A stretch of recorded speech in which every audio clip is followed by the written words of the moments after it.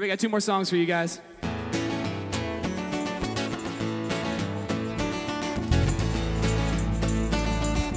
This one's an Allman Brothers classic.